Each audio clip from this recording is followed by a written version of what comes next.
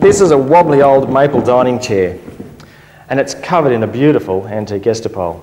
So what I'm going to do with this job is I'm going to strip the antique Estapol off and reglue it so it's got some strength back to it. Now there's a number of ways you can strip paint or Estapol. The first one is with a scraping knife, which is what I'm going to use on this job. They're very cost effective. The second one is a hot air gun, which is basically a souped up hairdryer.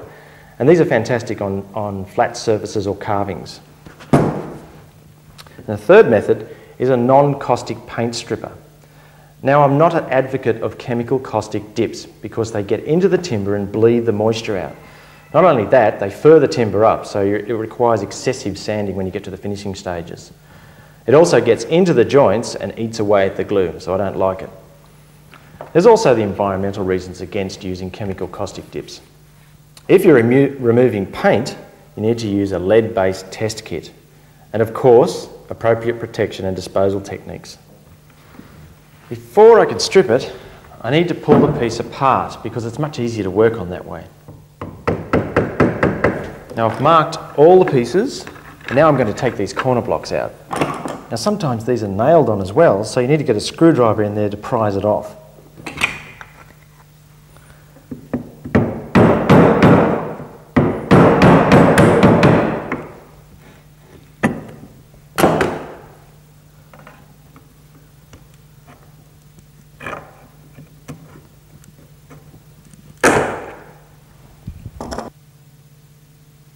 Now the front will come away from the back as two separate pieces, with the side rails either joined to the front or the back. I'll be asking questions about the type of hammer I'm using later, okay?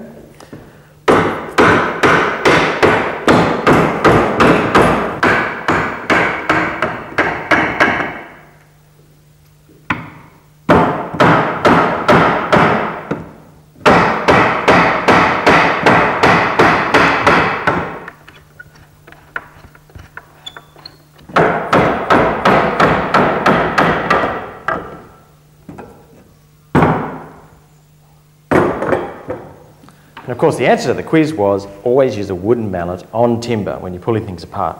Now the side rails have to come off.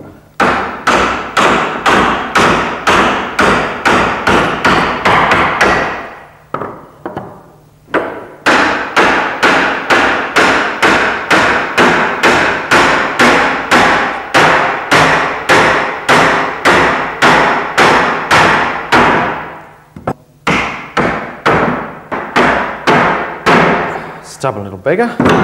Now the front and the back can be broken down into their individual components. This is a good time to use that metho and the syringe trick I talked about earlier.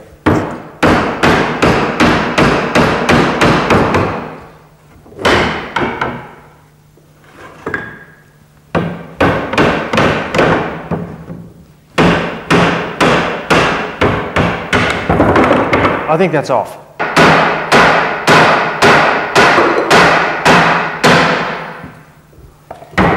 Almost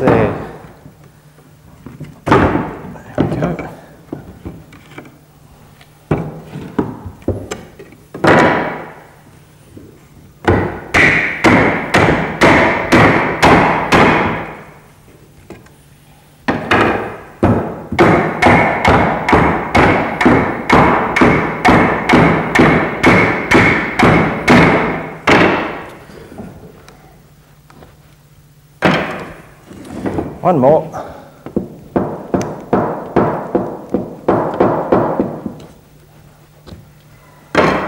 Well, there's a chair in here somewhere, but thankfully we've marked all the pieces so I know exactly how it goes back together.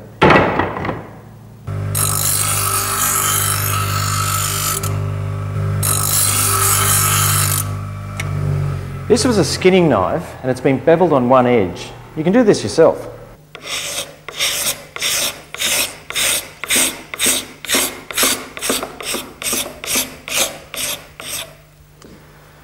It's that bird edge that you use, which is on the opposite side to the bevel that we put on earlier.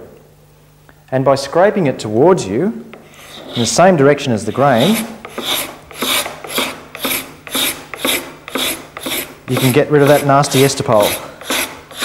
It's a very efficient way of removing it, much more efficient than sandpaper, and certainly cheaper than two or three coats of paint stripper. Now on turn pieces, you need to go in the same direction as the grain as well, but you need to also go down into the valleys like this so that you're scraping with the grain and not upwards in case you chip off any pieces.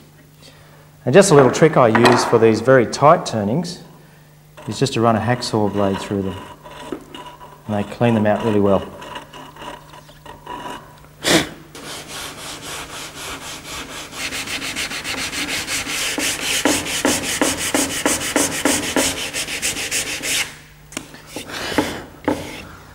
All of the pieces have to be sanded because we want to remove all of the remnants of the old Estapol. Otherwise, when you put your finish on, they'll show up in the final result.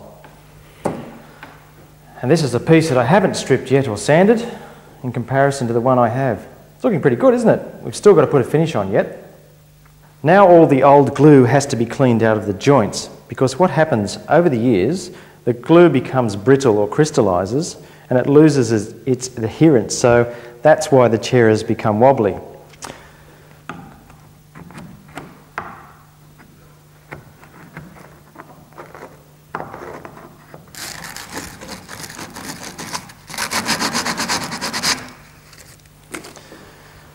See these dowel holes here? If you want to get the glue out of that, a good trick is to use a drill of exactly the same diameter as the hole. You just run the drill in there carefully and that breaks the old glue out. But be careful not to go right through the other side of the chair. In the reverse order that you pull it apart, you put it back together again, making sure to put glue in all the joints.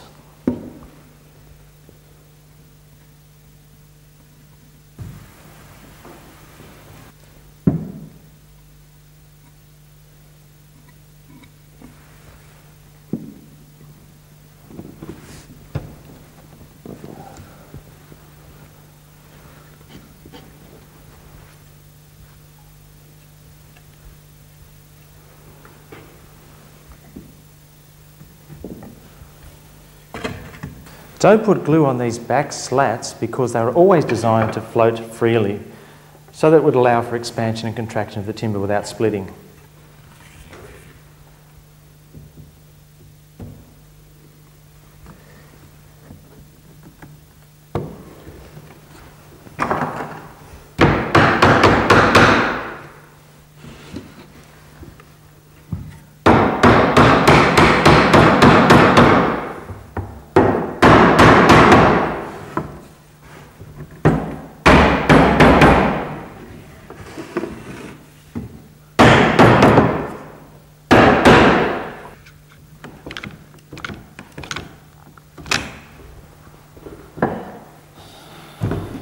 We go, that's the back together.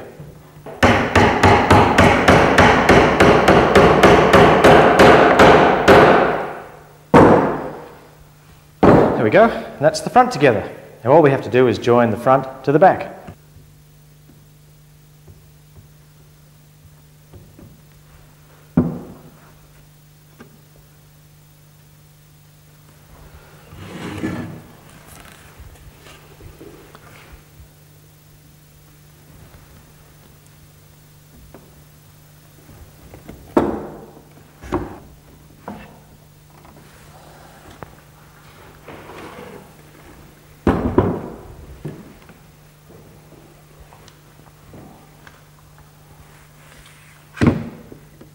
A good sign of quality is that the corner blocks have been screwed in place, not nailed.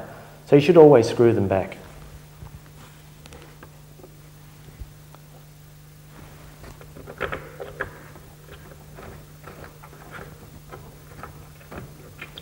There, now that's ready to put whatever natural finish you want to on it.